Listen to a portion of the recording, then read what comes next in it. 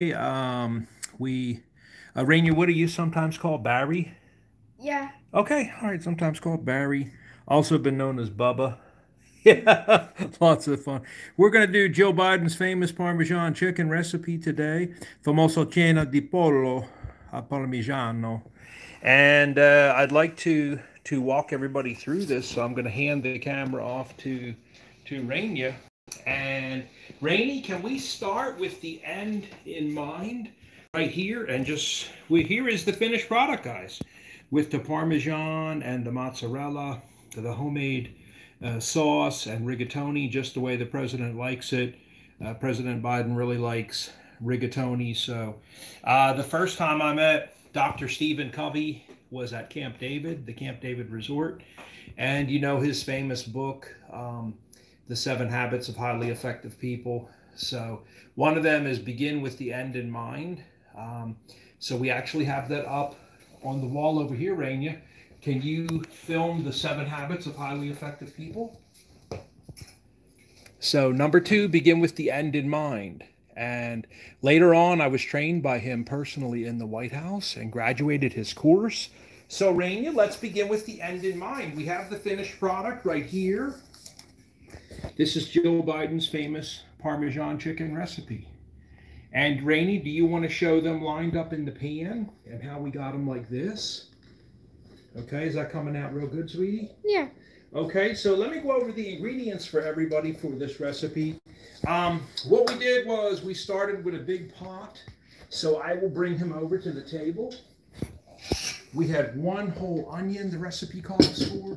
I'm going to give you guys this recipe. It's on our website, uh, presidentialculinarymuseum.org, if you want to download it.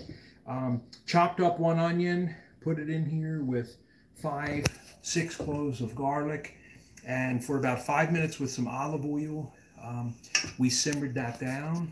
And then, uh, Rainy, take a, a nice shot of those cans of tomatoes there because you want to use the real San Marzano tomatoes from Italy, and these are grown right by Vesuvius with the lava soil. So um, we took, you know, one can and we just psh, dumped that right in the pot. And then the other two we strained and chopped up the tomatoes and put them in. So we ended up with this wonderful, wonderful sauce, guys. I know you can see that in there with the steam coming off of it. And ultimately, when you get done this sauce, look at that. We put a little bit on the on each piece of chicken. Looks real nice. You can see everything right there. One thing I noticed about the First Lady, um, Jill Biden, she takes the garlic out and removes it. So I actually left mine in. I like the cloves of garlic, okay? Uh, but once you get your sauce done, a little bit of salt and pepper to taste, and that's it. That's really the basis of her sauce. She does want you to put some basil in, okay? And you do that towards the end. You'll notice that in the recipe. So uh, for everybody who's who's looking at it right there, the only thing I want to say is about the olive oil. Um, did everybody out there know that Jill is Italian? She's the first Italian American First Lady in history. I actually was able to get some product of Italy, olive oil, from Sicily, where her family's from. She's from a very small village, okay?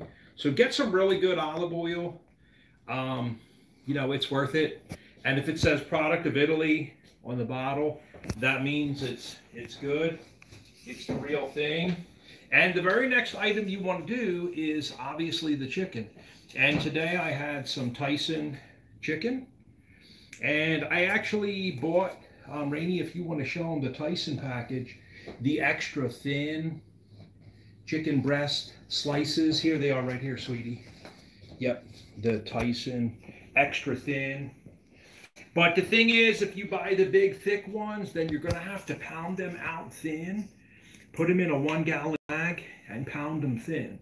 Okay, sometimes we even use the, the back of a skillet to pound them thin. But these were already thin. And here with a couple of eggs and milk, we had the egg mixture to dredge in. Okay. So yeah, your chicken is just going to go right in there and get them in deep to where we can dredge them and bring them over here to the rest of the recipe requires Italian breadcrumbs. And this was crazy about Jill. I had never seen this before in my life, but she actually is using um, the Parmesan cheese. Let me just rinse my hands off there, guys, because that's raw eggs. But she's got Parmesan cheese mixed in with the breadcrumbs, grated Parmesan cheese. So everybody has seen that before. But I've never seen a person say to please have grated mozzarella cheese. So where are you going to get that? If you don't live in an Italian city with an Italian market and community, um, you're going to have to buy sliced mozzarella and do like I did and hand grate this. Okay, to get it small enough so that when you go to do the chicken, look at that. You just coat it with the Italian breadcrumbs and that Parmesan is mixed in there with the grated mozzarella. Try to get it to where, look, there's a fissure in there, a little bit of a crack. And then you can kind of dust them off a little bit, okay? And over here, come on over here a little bit, Rainy. We'll, we'll put this on and just medium heat. But I've got them up to about six. And once it gets hot enough, we'll put the chicken in there, okay? I've also got here a pan ready to go with nice dry paper towels for blotting, okay? And every time you touch that chicken, make sure you wash your hands because we don't want to cross-contaminate with the raw chicken. But uh, let's take a look here now. So into the skillet it went. We did all this chicken, guys. We took it out of the blotting pan and drying. We lined it up here, a little bit of sauce, all the chicken for your family. Then a little bit more sauce on top of that. And more of this mozzarella, or as my cousin Anthony says, mozzarella. It's not mozzarella. It's mozzarella. Eh? Okay, mozzarella. And if you want to put some more of that uh, grated, feel free. You can never have enough cheese. Okay. This was some wonderful, wonderful locatelli grated. All right, right there. Not a problem. Looking awesome. Don't forget one thing I did uh, not mention was with the egg, uh, three eggs, a little half cup of milk. Okay. And look whose eggs we were using today. Can you see those, Rainy? From our Polish chickens out back? Yeah. Yep. so uh, that was nice. And like I said, the, the fresh garlic. Pretty simple recipe. I've got the rigatoni already cooked off for everybody. And what we want to do with this chicken is, can we pop it in the oven, Rainy? Yeah. All right, I'm going to open up the oven, 350 degrees. About 20 to 25 minutes. And do yourself a favor, be safe. Get one of those very thin bimetallic stem thermometers and check it. And even when you're using these, make sure that every time you poke it in that raw chicken, that you're sanitizing your thermometer also. So not a bad idea. Uh, this is little ways that cross-contamination occurs. Now, let me just show you here how to do one of the chickens, okay? Because we've got this one here. And we like to check the oil. So we'll ask Rainy to come on over here. Oh, I, I threw a little bit of oil in there and it popped. That's when you know it's ready. Let's put the chicken in. Maybe you stand over there, Rainy. And let's put it in. In with that oil there. We don't want to disturb it too much. And what I have is, um, I've got a spatula and a tongue and I just try to gently fold it over, but so it doesn't splash, I kind of use the tongue to catch it a little bit.